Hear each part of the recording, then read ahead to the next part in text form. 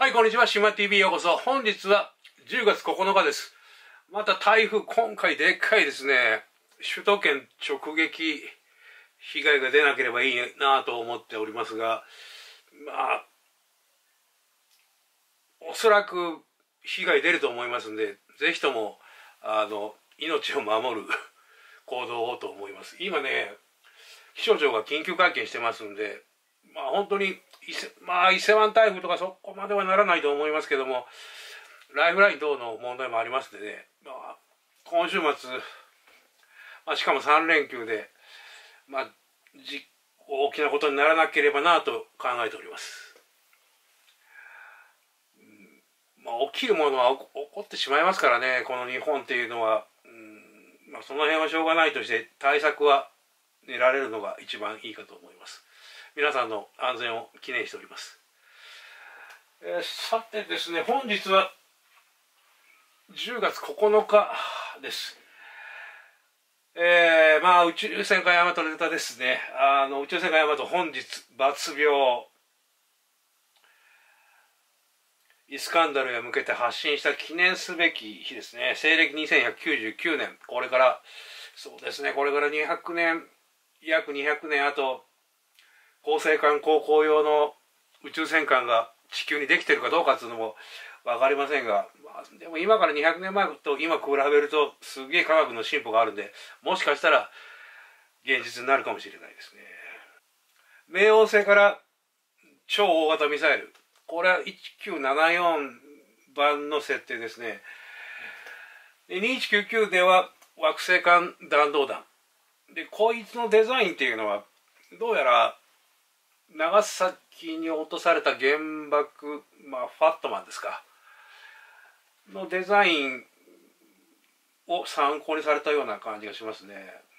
でその原爆を撃ち抜いて出ていくっていうあの発信シーンっていうのはまあ日本人ならではの展開かなという気はしました。しかもまあ九州ですしね、うん、まあ今年放送開始45周年っていうことで岡田敏夫先生がついに今年になって初めてじゃないですかね。私もよく勉強のために見させていただいてるんですけど宇宙戦艦ヤマトの関連の動画を上げられました。しかもですねオープニング歌のシーンですね。それだけでね十何分お話になるっていう。なかなか素晴らしいなと思いまして。でまあ詳細につきましてはあの下にリンク貼っときますんでそちらで、まあ、本編の方を見ていただければと思うんですけどでまあこの前それこそもう 計26回ですかねあのオープニング見て徳川先生なんでこっち向いて手を振ってるんだということに対しての説明もなされてます。やっぱそうですよねもう大和が第1回放送の時にはすでに高校生ぐらいになるんですかね。うん、だから私のように小学生の時に見た人間よりやっぱり、まあ、あの辺の56年っていうのは全然違いますから考察がすごいなとかという気がしましたね。まあ今日はちょっと小ネタといいますか、まあ、本当に2199西暦2199年大和抜病発信っていう動画ですんで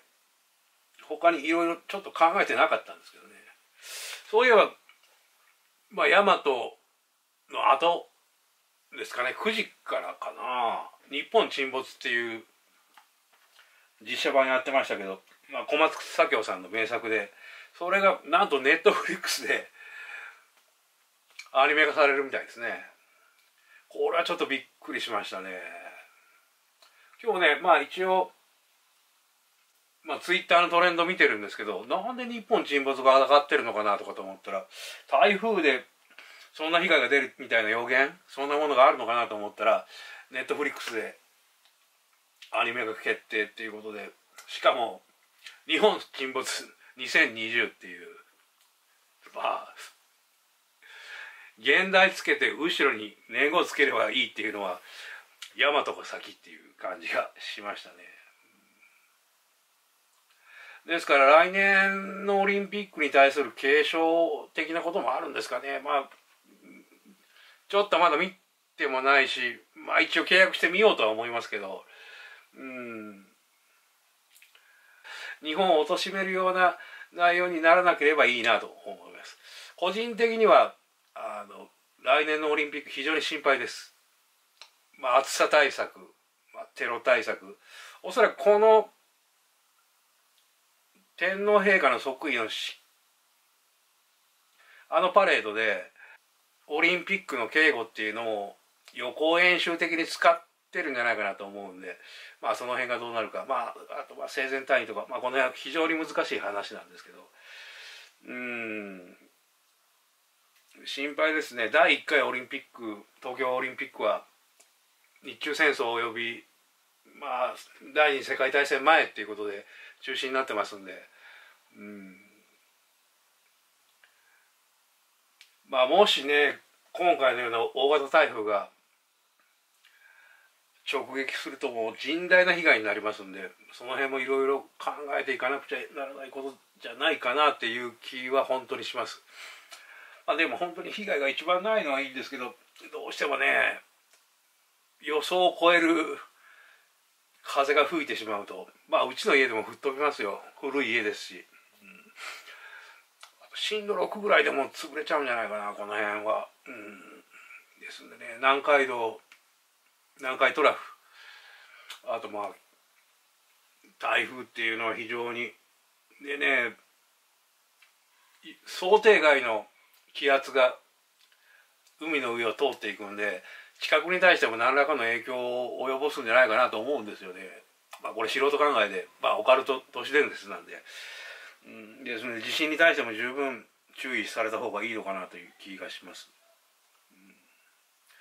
まあなんか都市伝説っぽくなってしまいましたけど、うん、まあちょっと脱線しましたけども、まあ、今日本当にまあめでたい日じゃないですね。まあ地球最後の希望を乗せて宇宙戦艦ヤマトがイスカンダルに向けて抜病発進した日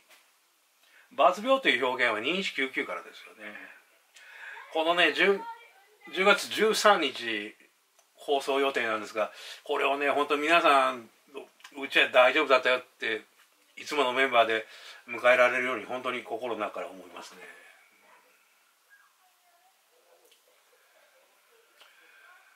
まあしかしネットフリックさんは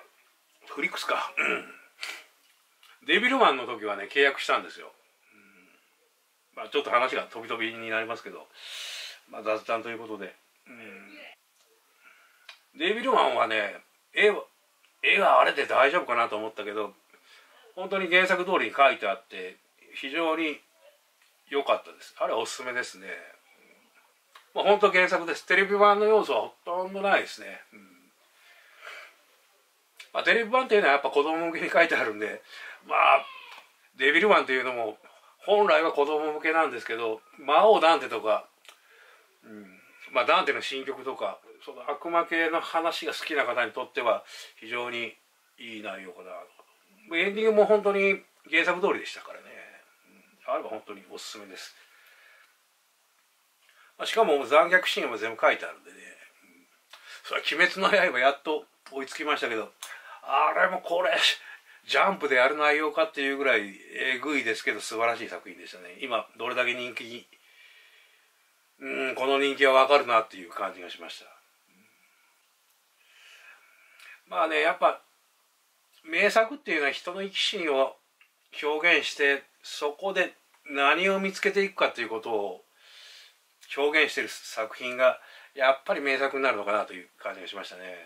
宇宙戦艦ヤマトにしてもそうです。命を懸けて戦うきれい事だけ言ってる世の中腐ってる。そういうことをやっとジャンプも言うようになったなっていう感じがしましたね。まあ萌え要素もある程度入ってますしまあ宇宙戦艦ヤマトについても